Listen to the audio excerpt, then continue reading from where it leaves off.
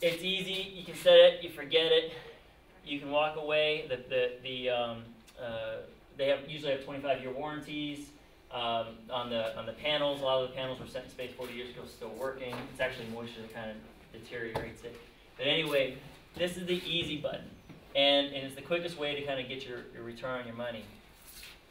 This, you have pumps, you have glycol, you have motors, you have controls, you have a lot of things that are kind of confusing, and uh, a lot of head scratchers. And how well you design the system uh, can basically dictate how much what your payback is going to be. So it, it's, it's a wide variation. I was going to say if you had a pot of money and you just wanted to press the easy button, hit the payback. Uh, I'm sorry, hit the, uh, the solar PV side. Um, so that, that leads me, of course I'm talking about solar thermal. Why would I talk about solar thermal? Um, this is, I think it's called River, Riverdale in, um, in Canada. this is the, the model of net zero energy. Um, kind of the way they do it is they maximize the building envelope. Um, so you have a, a, low heating load and cooling load. and then you heat your house and cool your house with, with heat pumps. And then you use solar PV to offset all that. So over the course of a year, net zero, you know, I may produce more in the summer than I do in the winter, but uh, it, it, it, it all nets out to my, my loads, and my loads and my production kind of equals zero. Um, and so this is kind of the model of what the model baby of the net zero energy house. Um, it's kind of nice, they've kind of got dialed in like that. Um, there are a couple of net zero energy houses in Alaska. You don't have to have solar thermal for that. There's a great um, green building advisor, there's a guy named Martin Holladay uh, who writes a lot about energy efficiency, renewable energy systems, etc title, one of them is called Is Solar Thermal Dead? And he asked this because he says, okay, say I've got a, a, pot of money and, um, you know, $10,000 or so produces the same amount of energy whether I'm using solar PV or solar thermal. And um, the difference is that solar, solar thermal, it's, uh, it produces three times the amount of energy per, per square foot of area that faces the sun than solar PV. So what that means is, say on my house, I could put, I'm just going to make up a number, 100 square feet of solar thermal for the same amount of cash. But if I wanted to go, so if I wanted to do just solar PV and forget the pumps, forget the glycol and all the complicated stuff, just do PV, I'd have to have 300 square feet to, to make the same amount. So if you got the real estate, it's easy. But it doesn't mean there aren't, if you read his article, it's a short article, about that long, um, you know, he's like, it actually, he's arguing it doesn't make a whole lot of sense for places down south um, in terms of energy, because the price of energy is much cheaper down there. But he's saying up in northern latitudes, actually, he says there is some reason for it because the price of fuel is higher, etc. I'll talk about it a little bit here. So there are two categories of solar of solar thermal systems. You have one which is domestic hot water. So what's this doing? This is just basically taking sun, heating up some glycol. There is a pump, that's a symbol for a pump, that's moving you know, water and glycol, usually glycol around here. There's a controller that says, hey look, it's hot out here. This is my tank of water that I'm trying to heat for say taking showers. So if it says, hey, it's hotter out here than it is in here, turn the pump on, make everything hot, heat this tank up, use the water, take showers. You could also, well, you could also heat this, hot, this tank of hot water with a boiler. the other the other category is um, space heating. Gets a little more complicated, but that's where you're using the heat for, say, in-floor radiant heat. There are some people who try to do this for baseboard heat. Um, not a really great idea. Um, and maybe even um, uh, like forced air, some people have tried it with that. There's not, not a great idea either, and I'll get into that. So the next thing is, remember, you know, I was sort of tailoring this for contractors If you have a conversation with your with your client, ask them why. Like, why do you want to do this? Because there's one end of the scale where it's like, well, this is good for the environment. It's something I believe in. Um, all this side of the scale. Then you have other people who are like, nope, I'm all about investment. I want my quickest return on, on investment. Um, I'm on this side of the scale. Now, the truth of the matter is, most people are kind of somewhere in the middle, maybe lean a little more this way or lean a little this way. I've, I've had conversations with people who've been kind of on either side. Another reason why is that, well, with the Alaska Housing, with the um, Home Energy Rebate Program, they want to get an extra star on the Home Energy Rebate Program. Now, right now, like today, you can't do that, but it's working. They're working towards that, and maybe hopefully within the next year, we can have the same conversation and say, ah, because this person put solar thermal or solar PV or wind or whatever on the house, you got it bumps you into the six star rating. Another reason too, there there are other organ, uh, programs out there called the Living Building Challenge, Net Zero, and LEED, and these are certification certifying bodies that said, oh yeah, you know, there's some people who kind of greenwash and say, oh well, I'm all solar and this and that, and then these are the certifying bodies says, oh yeah, he's all solar and that. Um, LEED, just so you know, this is we're the farthest nor north LEED platinum building in America. You're sitting in it right here. Um, it's kind of a good, kind of pretty neat bragging rights, but you know, it takes it's pretty tough to keep that accreditation up. When we did this building addition, we wanted to maintain. You have to expand the um, accreditation. we want to maintain LEED platinum from over here. So this building addition, in order to get our LEED platinum, um, this one is designed to be supplemented or actually have no fossil fuels heat this building addition, and I'll show you how we did that. So what are the barriers for solar thermal? for one, um, first, for anybody, for you and me, you still have to have cash. You still have to put that up front if you don't have that cash. There are some, um, there are some banks out there, lending institutions that may lend loan to you. Last I checked, um, Spirit of Alaska was lo loaning loans out for this kind of um, these kind of ventures. It's been a few years, maybe they've changed that. Another barrier is that it can get complex in a hurry. You'd be scratching your head and calling your installer in a hurry. and then the last thing is, um, say it's a new construction system, right? A, a, new construction house, and you go to the bank and you say, hey, this this house I'm going to build, and it's going to cost me two hundred and fifty thousand dollars to build, right? So they're going to go and look at it, and they're going to say, well, look, first off, my house is going to say, you know, I'm going to have solar PV, I'm going to uh, I'm going to have solar thermal, I have solar PV, I'm going to have this awesome building envelope, and it's going to be the world's most en energy efficient house out there. But when you go to the appraiser, because it's going to cost you 250, actually, let's use a real number, $280,000. So let's say it's going to cost you $280,000 to do all of this. When I go to get the bank loan, the appraiser is going to go out there and say, okay, how many square feet is it? Do they have granite countertops? There's no check mark for solar thermal. There's no check mark for a building envelope um, that's like that. Uh, so they're only going to give you, they're going to say, well, this thing's really worth $250,000. Well, really, it's going to cost 280 to get all this stuff in there. So that's a real barrier. That means you got to put 30000 out of pocket to get there if those are numbers that work for you. So right now, believe it or not, CCHRC helped work with AHFC to develop an energy um, help me out there, uh, energy appraisal tool.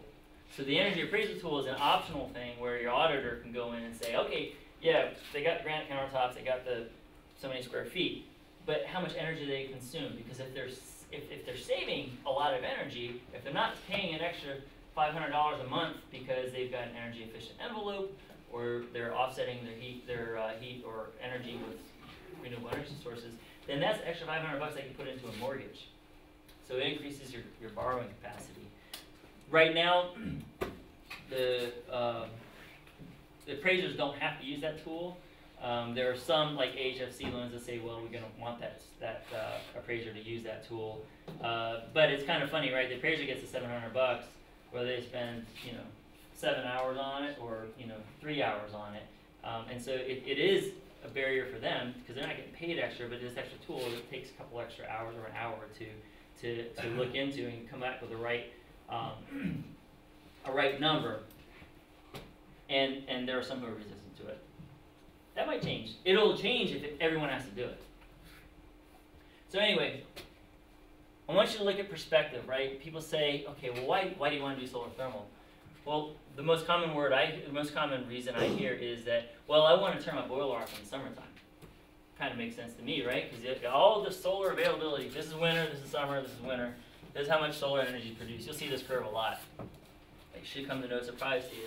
But you get all, if you, you've got the ability to get all this free heat in the summertime, it just burns me to have that boiler turn on.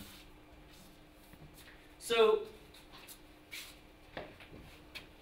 what if you had two collectors? This is all turnkey. This is not do it yourself. Okay, do it yourself is a whole lot cheaper. Um, this is like you're paying somebody to go do that. So let's say that you've got you know two collectors, um, domestic hot water only in Fairbanks.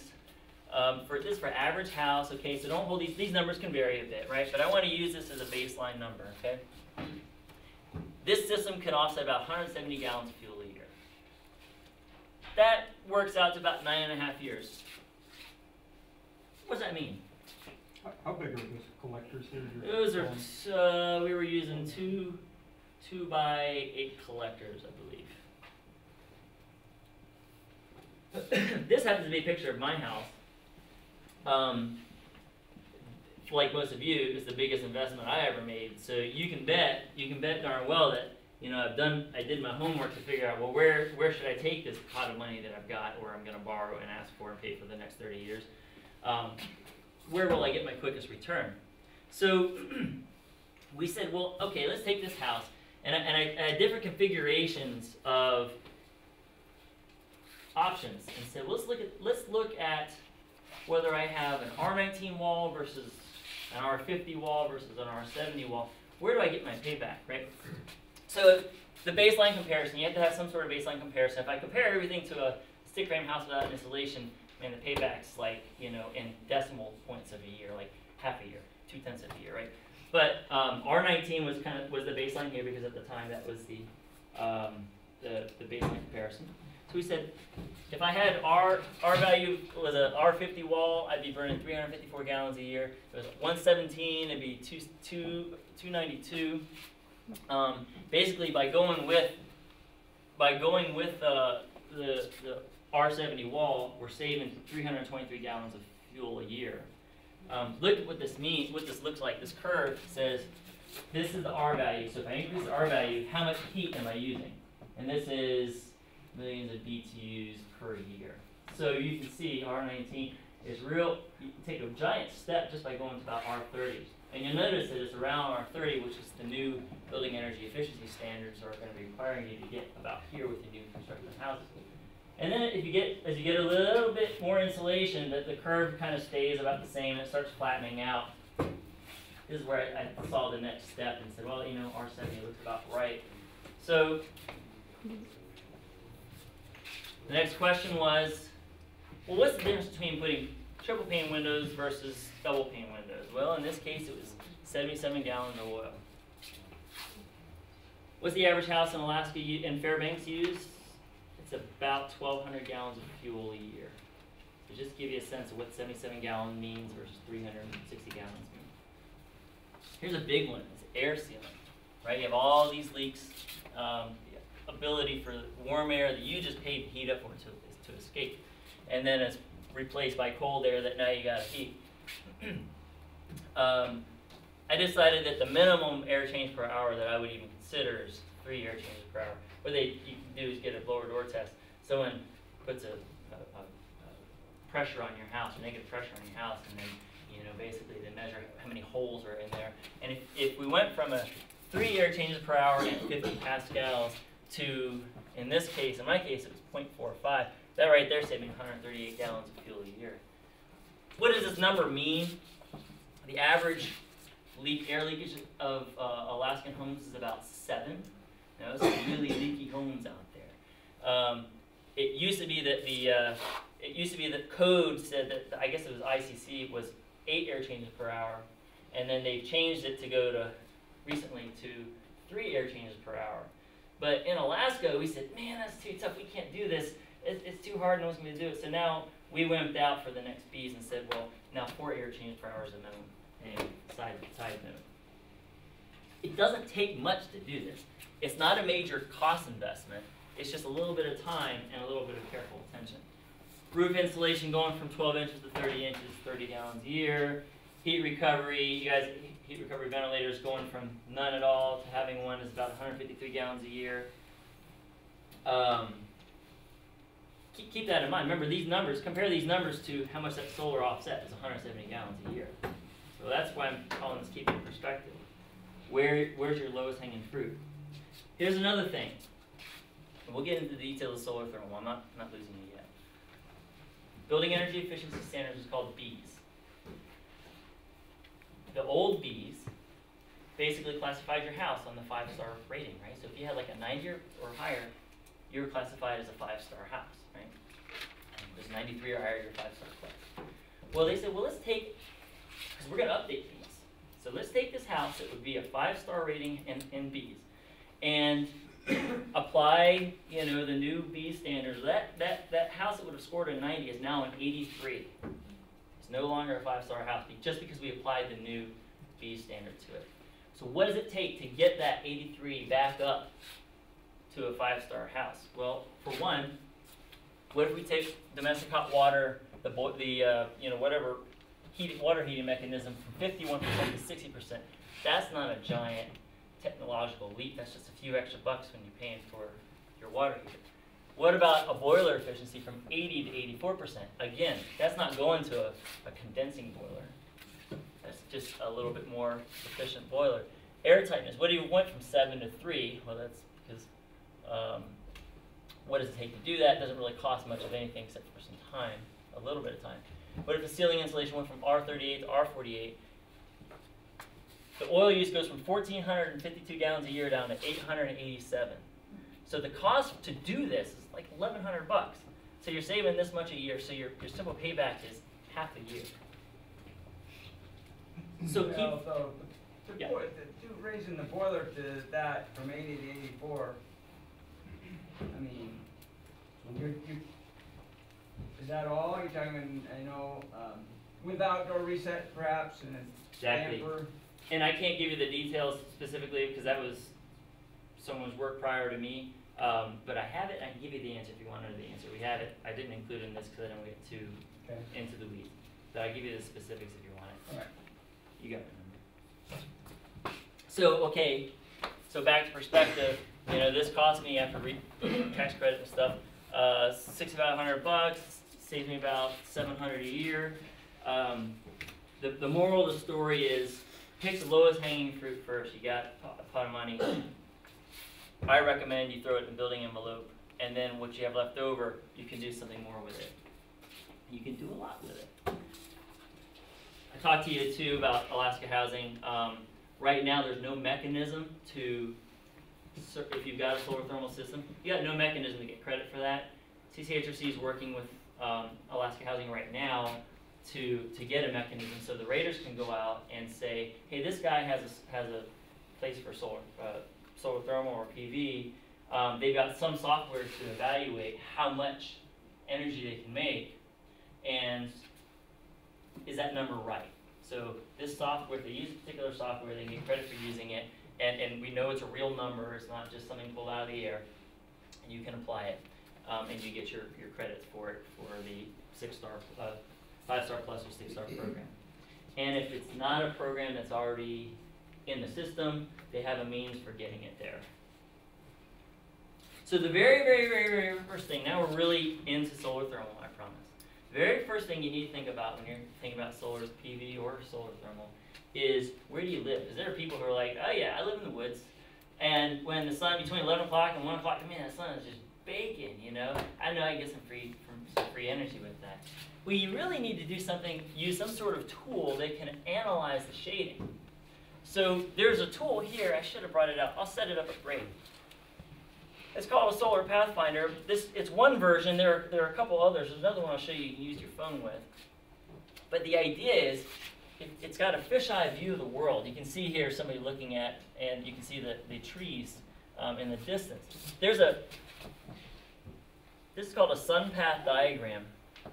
So what this means is it traces the path of the sun at any point in the year. I'll know that at basically 9 o'clock in the morning on March 1st, the sun's going to be right here.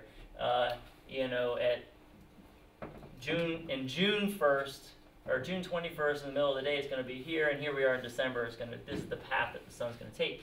And if you take a picture of this fisheye view of the world and trace it out, there's software that calculates all this for you. You get to see that, well, when the sun's over here, it's shaded. Oh, but now we're getting sun. now it's shaded. Well, what if I took a chainsaw of these trees and opened this up this area? You can get, the software can produce something that looks like this and say, ah, you're gonna save this much energy a year. This many dollars, this many gallons of fuel. Say you've got just a sunny spot. I mean, hey, there's no trees on my property. I know this is good. You don't necessarily have to do that. And there are free tools out there. There's a tool out there called System Advisor Models made by NREL. Kind of cool, right? You can do this for solar thermal. You can do this solar PV. You can do this for wind. And you put a little bit techy. It, it's a little bit techy. The thing that annoys me is that this is made by the National Renewable Energy Laboratory, right? Department of Energy. Um, you have to enter uh, how many cubic meters your solar thermal tank is, right? So instead of how many gallons of water a day are you using, how many cubic meters of water a day are you using? So you got to do some conversions. It's kind of annoying, in my opinion. I'd expect it if it were European. There's another app out there that it's sixteen dollars. It's it's by made by Comoving Magnetics, and it's uh, it's called Solar Shading. It's a phone app. what you do is you basically got an accelerometer and a compass in your phone, and you you can hold it up and trace where the hold it up and trace the tree line, right? So you would this is what you'd be looking at on your phone. You can trace this whole tree line. You have to go all the way around. You have to be real careful. What does that look like? And it will come out and say, "Ha! Look, this is where your shading is. This is where the sunny sunny sides are, uh, and this is how much you can produce, how much energy you can produce a, a month." Kind of a neat little deal. We we proved it out against the Solar Pathfinder and um, and a few other programs that are out there. And uh, 16 bucks is pretty cool. The the Solar Pathfinder I think is more on the order of 200 bucks, maybe more or maybe less uh, once you have factor in the software. So, how Did- difficult Did it work with your, what you guys seen here? Did it work? Yeah. Yeah. I mean, it compared pretty close to what you guys have seen? It compared really well. Yep, it sure did. I don't know if they have it for. I I know it's an Android app. I don't know. Hey Ness, They do not have it for iPhone. they don't have it for iPhones. Okay. We tested it in two locations, just here out front where the PV panels are, and then also where the solar thermal panels are in the village, in the sustainable village, and it came out to within five percent of what the Pathfinder found, so. Mm-hmm. Pretty good. the big question is, how difficult is it to install solar thermal? And with a simple system, I'd ask you, can you, have you ever installed a sidearm water heater? Is there anybody that doesn't know what that is? You don't have to raise your hand, but if you don't know what a sidearm water heater is, then you may not want to be doing this yourself. But basically, a sidearm water heater is basically just a water heater that has some coils in it that you can hook up to your boiler so that the boiler heats up that tank of water. The, the fluids in your boiler don't actually touch the fluid of the water in the tank, so you're not necessarily drinking or showering in, in glycol. But if you have ever installed this, and there's some plumbers in here that have, you can do the solar thermal. You got yet another, I told you we got two categories. We got domestic hot water, we got solar, uh, space heating. We also have two categories of it. It's called closed loop systems and drain back systems. Here's how this works, right? Um, here's your tank of water. Here's my collector. These little pumps, what they do is they circulate. This is the same thing. This is just with a tube. This is a coil in the tank. This is the heat exchanger for this tank. This right here, this is like taking a cheap tank and adding a little flat plate exchanger. I'll talk a little bit about that if you don't know what that means later on. This is kind of a cheaper version of doing the same thing. But you have to have two pumps. Anyway, so the bottom line is you have glycol that just gets heated, brought down here, cooled, heated, brought down here, cooled. Same thing here. It, it only gets heated and cooled, and if this whole system, let's say this is water in this tank. At what temperature does water boil? Yep, two twelve. Um, if it gets to if it gets to boiling, you're gonna have a problem. You're gonna have basically a bomb, and you have to, the, uh, the preventatives for that. They put they call relief valves or pop off valves. So basically, they're set at maybe 205, and so or, or and, and at 205 or 200 degrees, they start popping off and venting so that you don't ever boil anything, so you don't have a bomb. So let's just say that there's a solar controller in here that says I'm some temperature, and if it's warmer than me up here than it is down here, cycle this thing on. Well, what happens if it gets to two hundred degrees. The controller says, shut it down. I don't, I don't wanna, I don't wanna boil anything. I don't want my pop-off valves to spill water onto the floor. So what it does, it tells everything to stop. Well, guess what? The sun may still be shining, and you're gonna bake this glycol. There are some glycols out there that can handle 325. Some claim even close to 400 degrees. It takes quite a bit to get that much temperature, but either way, if you do that a few times, you'll you'll you'll bake your glycol and it won't be any good anymore. What kind would you recommend to, uh, if you wanna shut your boiler off? I mean, so that, either one of those really, get your boiler going, so, for backup. I don't think I understand the question. If you wanna shut your boiler off? Yep. Can, do you have to do like a double loop? Like this on the right. Yeah, do you have to do that, or do you have to? If you wanna shut your boiler If I want to shut the boiler off, oh yeah. Um, I, I know there are people who've done this and they just put the Dowfrost HD in here, and that's good to about like 325 degrees. I think is what they rated for on that. Um, it can only happen a few times before it's, it starts the inhibitors break down, and then you can start corroding pumps and things of that nature. It takes a lot to get there. So there are people who do this and they do it just fine, and they're willing to say this that situation's not going to happen very much.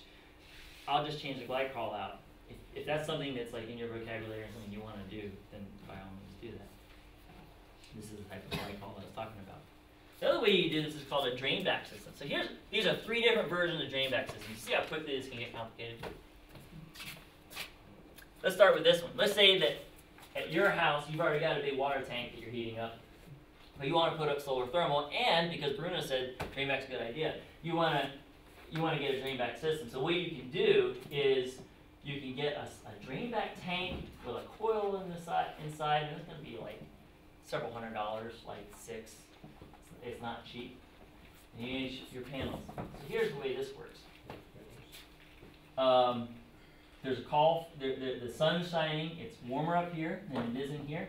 So this pump turns on, and it sucks the water down from this drain back tank and sends it through the collector.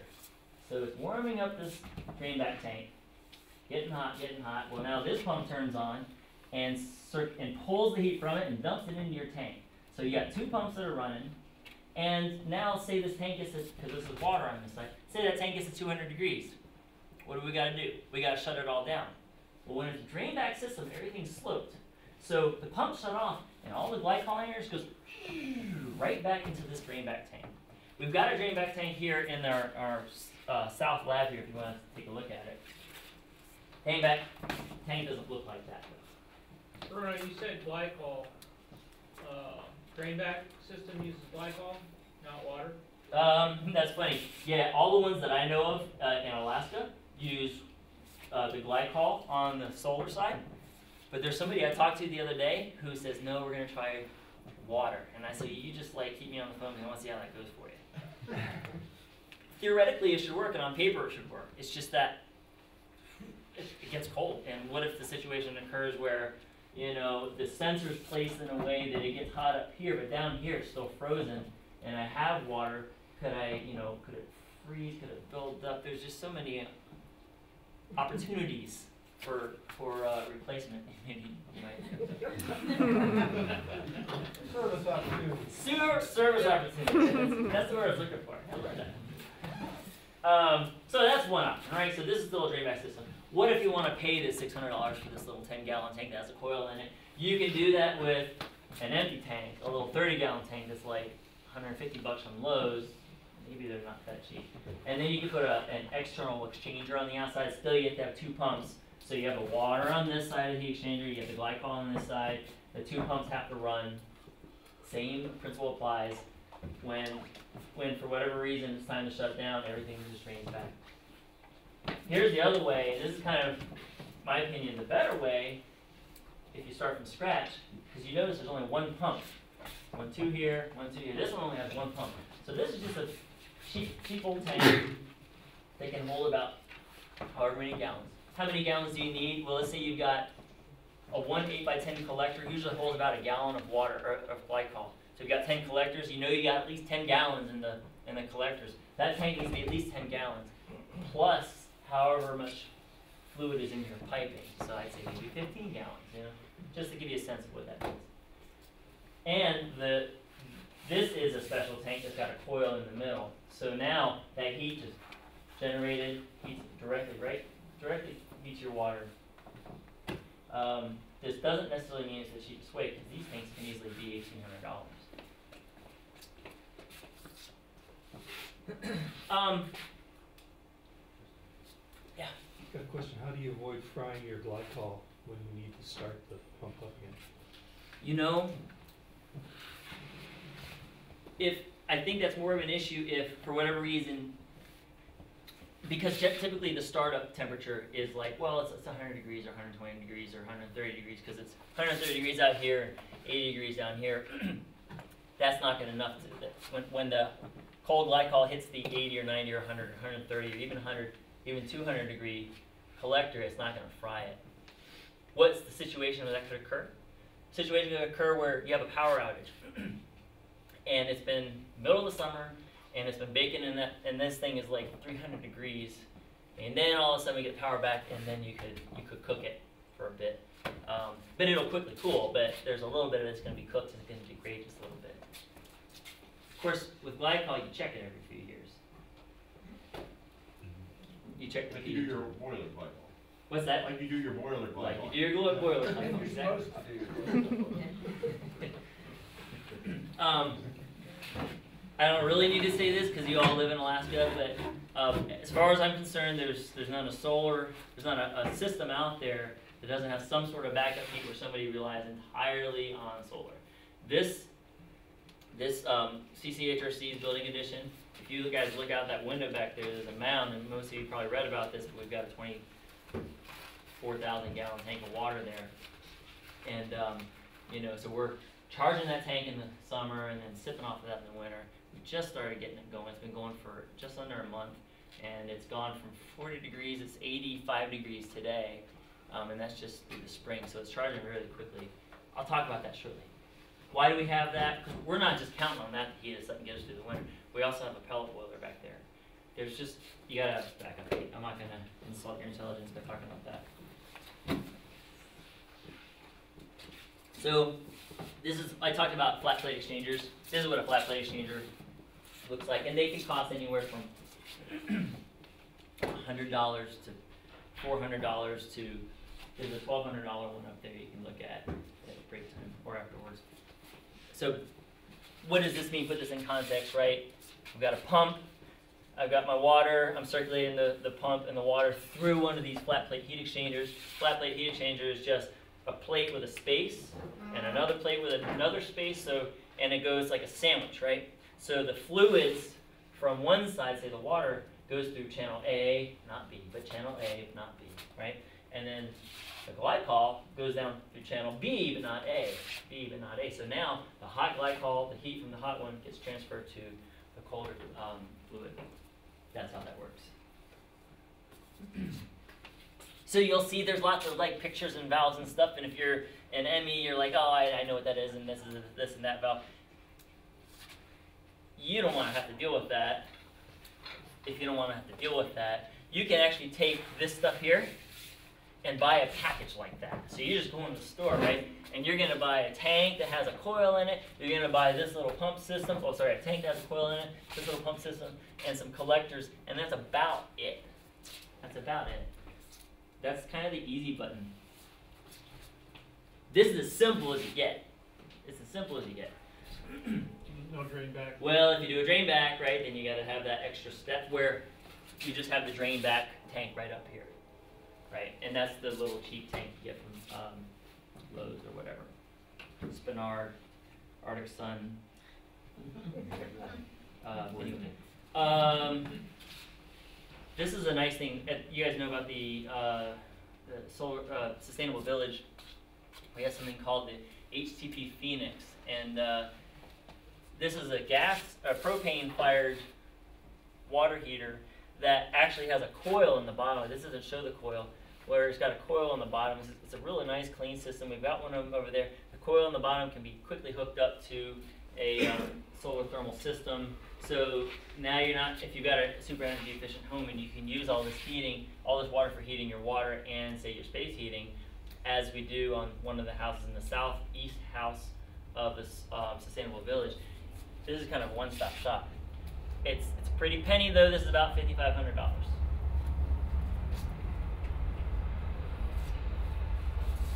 So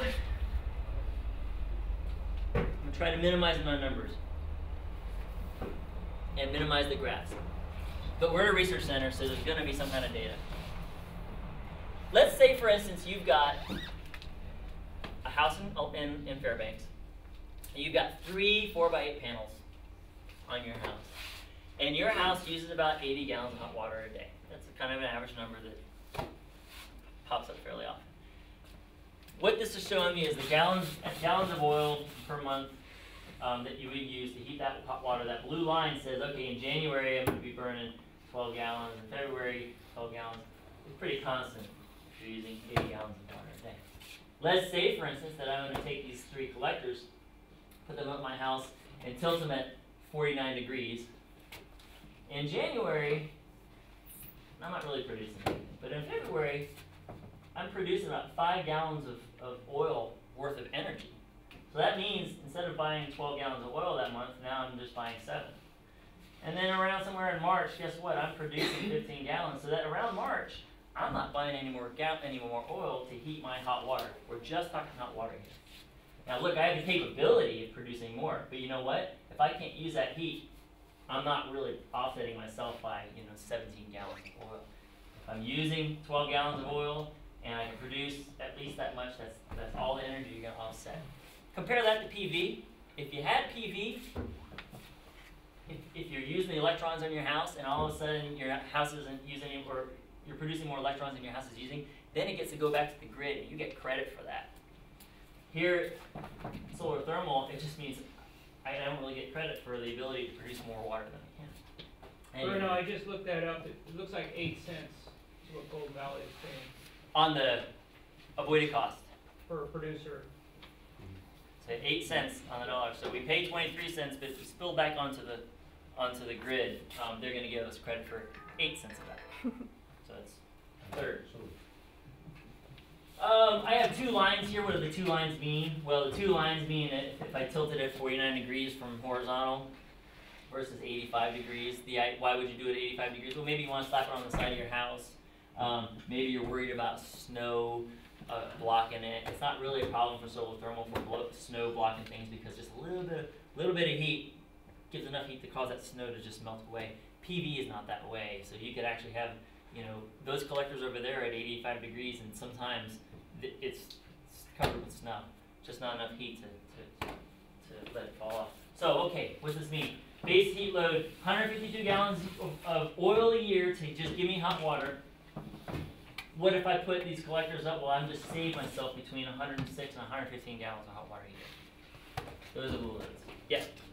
What, since you're, if, let's say you're new construction, what's to keep you from, when we cross the line and we're making too much hot water to use for domestic hot water, why can't we dump that into a different loop and say, warm up the ground? So that's right. That's storage. Mhm. So that's storing the heat. I'm going to get to that. That's an Okay. excellent question. The question was, what is there a way I could use this heat somewhere? Yeah, there is. So you kind of shoot for forty-nine degrees then, I mean, if you want optimum, is that for Fairbanks? I think so. I think so. But I mean, in this case, you know, maybe you don't have the real estate to do that. You know, maybe you've got a roof, you can kind of do whatever you want. Um, I'm. We weren't particularly interested in having, you know, roofs, uh, panels on our roof. Um, to just architecturally, it didn't fit that picture, right? Um, anyway, space heating. This is the second thing we're talking about. I was talking about before domestic hot water, it was a lot simpler. The space heating, you can see there are a lot more pipes. It gets much more complicated in a hurry. Um, you're already seeing this picture, right? It's going to come up a lot. Tank, heat exchanger, a couple pumps, right? What are we going to do with this water? Well, we have a, a circulator, and it goes to a box we call heating load. Okay, and if you've done a boiler, you're gonna know that's a joke because that box is a lot more complicated than a box. the other way, of course, is you know you have a coil in the tank, and now you take that heat. You're not necessarily using it for showers, although you can, but it goes to a box called heating load.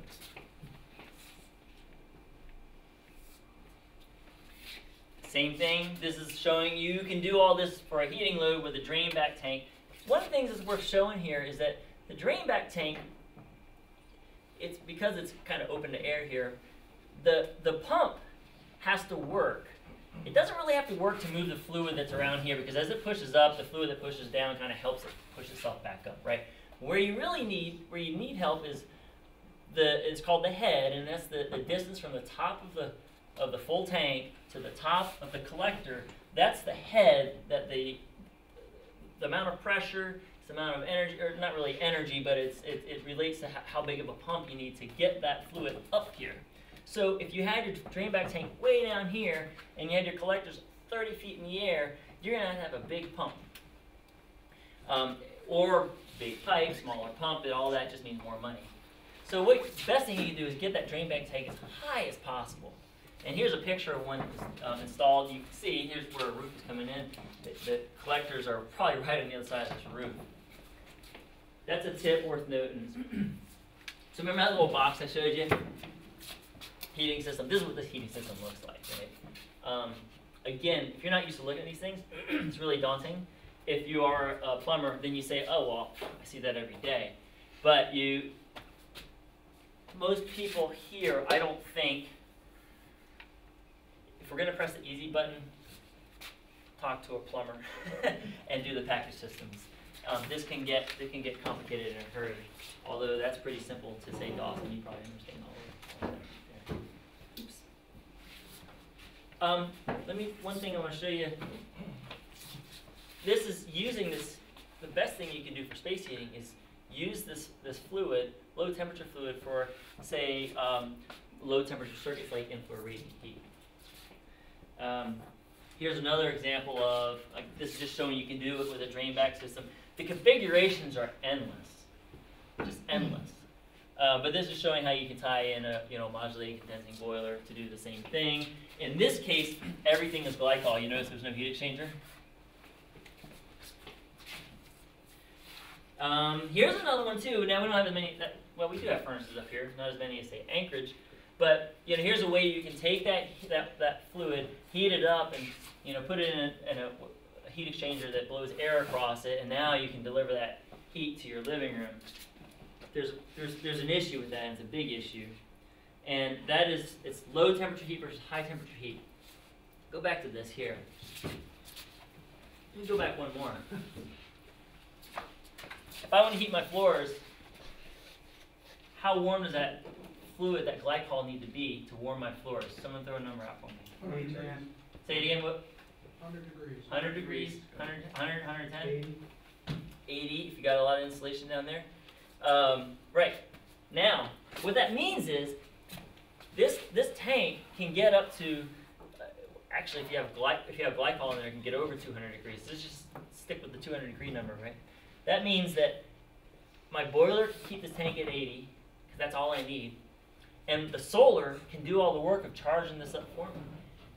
Going above 80, going all the way up to 200 degrees. That's all that capacity. So say the next day that it's, it's cloudy out. Well, I got a 200 degree tank of water that now I can heat my floors with.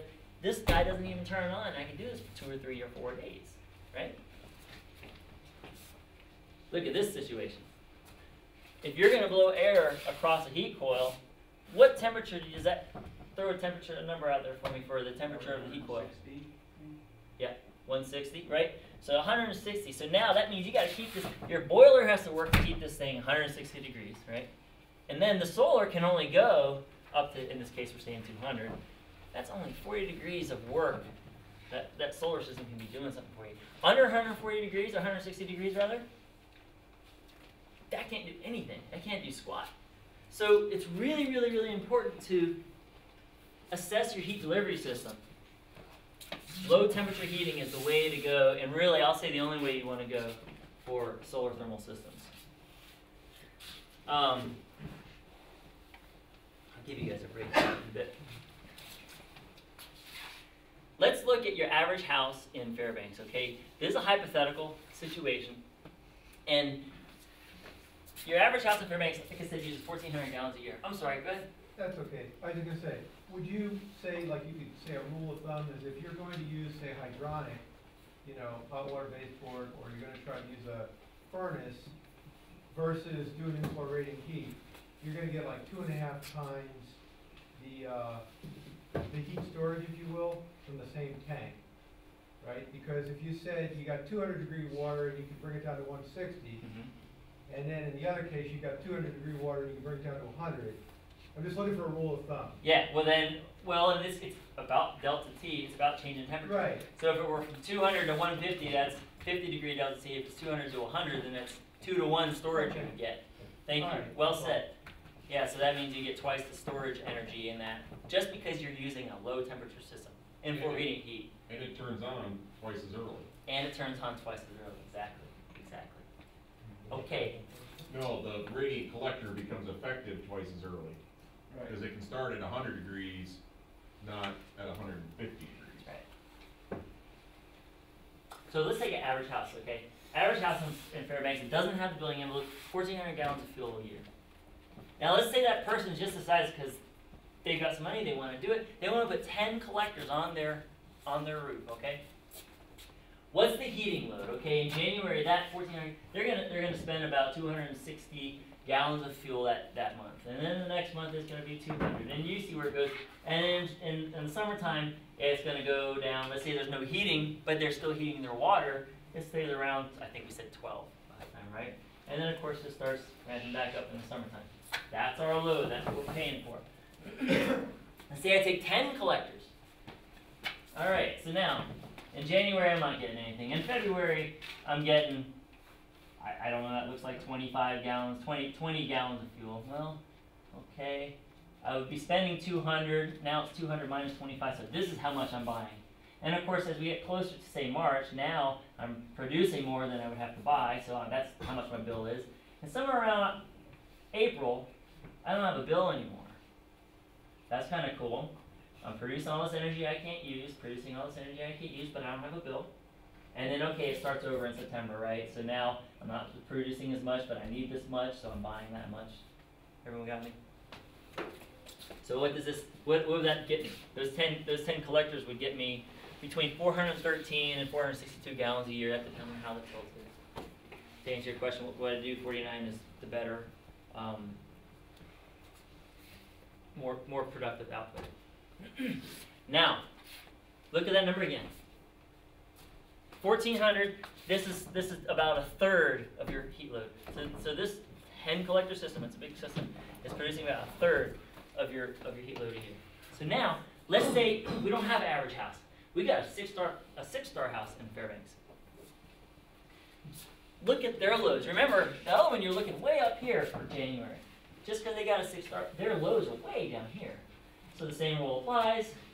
Remember over there, it was April, where you started making your own heat. Well, look, they're making their own. They're not paying for oil a little earlier in the year. And now their base heat load, if they didn't have solar, 442 gallons a year, just because they're six star. solar savings, well, it's less, but 290, so basically 300. So now, three quarters, three quarters of your energy is produced by the sun, just because you got a six star house. You get the point there. So now, Robert, my friend Robert brought up a good point. what if I could take this heat, right? Here we are in our six star house, right? And it's it's March and I'm producing my 10 collectors more heat than I can use. What if I could take that heat and put it somewhere where I could use it later? Now, ideally, you put it in a place where energy just doesn't go away, but there is no such thing as that. So, there are some system losses, et cetera, et cetera, et cetera. But you basically put it in a highly insulated box, tank of water. And you store it, and you're producing more, and you're producing more, and you're storing it. You're not using it, you're not using it. But now, this is the time of year when your solar stops working. y- You're not, I'm sorry, not, doesn't stop working. It stops producing as much as you're needing, and you're starting to have to, to buy it. But guess what, if you stored that, you could actually, now, because I can pull from my tank, guess what, I'm not buying oil, I'm not buying oil, I'm not buying oil. Right around here's where I start buying oil. I, it'd be awesome if this thing came all the way back to say March, right, see, that's a heck of a, that's true seasonal thermal storage. I don't know of any systems around here that get true seasonal thermal storage without any kind of help. Um, from the numbers that I've seen in our system and my system at home, this, this system gets you about six extra weeks that you're not having to buy. Hold on. What are you gonna do for the next six weeks? You gotta have some way to, to supplement that, maybe with a masonry heater, or, or a wood boiler, or a rubber boiler. You guys, everybody in here, I'm sure, has seen this house. I actually wish I had put a picture of your house. Um, everyone's seen um, uh, Thorsten Chlupp's house, and a lot of people have seen Carl Castle's house. These are highly insulated houses. This is technically a, a passive house.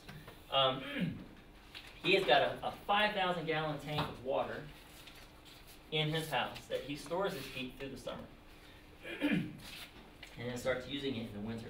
He built the house around this tank, so he stuck it in there, and it was all it's all insulated now. You know, it's just a steel tank. Another way you could do is you could bury a tank. This is um this is actually at my house, and um, this is a tank that's just foam. So this is just foam. Got some sheets of plywood to protect it. Got some wrapped it with Bituthene so it doesn't get wet. And that's a 2,500 gallon tank of what's going to be water. It's an empty tank. What we did was we cleared our pad where we're going to build the house because there's going to be a house here. Dug a hole in the ground, took that big old box, stuck it in there, and then built the house on top of it. Um, I like that because I don't have a tank in the house. I don't have to give up real estate for that. There are drawbacks to it. You can't change the tank. I can I can't change the tank. That's right. And actually, that tank is just foam. It's just foam, and we had a liner in it, like a kind of like a thick swimming pool liner, especially made for that tank. Um, and that's where we fill. We just had call water wagon fill that up, and then the solar heats that up in the summertime. Uh, the liner's good for like 15 years, so I'm gonna change that liner. I can change the liner in 15 years. So this is a basic schematic of what it looks like for that house you're just looking at. And what we've got is the collectors, and I have a flat plate exchanger. So this is my big tank. And I pull up this, I pull the water from the heat tank, goes through a heat exchanger, and it gets heated by the solar. And of course, I can pull the heat from here, and I can heat my floors, or take a shower. What happens when this gets too cold, or, or I've used, i you know, December's rolling around, January rolls around, the stored energy I've got here is, is just drained way down, so I've got to supplement that. I got a masonry heater with a coil in the firebox. Whenever there's a fire, you can heat that heat that water up. Um, there's more details that go in. It's called stratifying. There are reasons that, that make this work, the system work, where you're just heating a small amount of water for my needs rather than the whole tank. I'll get into that another time because it gets complicated. But it's not like a regular house where I just I just go here, set my thermostat, and my boiler takes care of the rest. I gotta think about it. So if I'm gonna go to Hawaii in January, I gotta think about okay. I know I'm out. Of, uh, I'm gonna have to have someone come over and fire this up once every three days. You know, so I don't really have a. I do actually have a backup. I have an electric backup because the bank required me. Another bank requirement. The bank requires you to. What if this doesn't work? Well, then you need to have electric backup on this, and you have to have electric backup on this. So if my solar system isn't working, I'm just going to pay out the wazoo for electrically heating my water in my, my floor. So I do have that. I could not think about. it. I could just say, well, I'll just pay the money, but you know, it's like having a dog team. You don't just walk away from it. Um, for something this complex, you want the whole simple system where you were just doing hot water like I showed you earlier on. That's simple. So if you can walk away, the controller does its thing, and you can not think about it for, uh, you know, until summertime.